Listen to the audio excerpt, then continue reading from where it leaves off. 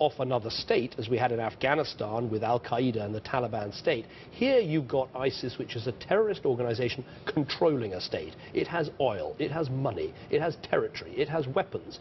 And there's no doubt in my mind it has already undertaken and is planning further plots in Europe and elsewhere. Specifically, in Belgium, in Brussels, it was an ISIS plot uh, that went into a Jewish museum and killed entirely innocent people. And there are other plots they have been attempting, including in my own country, uh, in order to kill and maim innocent people. And the same applies to the United States of America. So this is a fight you cannot opt out of. These people want to kill us. They, are, they have got us in their sights, and we have to put together this, this coalition, uh, working with, right across the board, all those countries I mentioned, to make sure that we ultimately destroy this evil organization.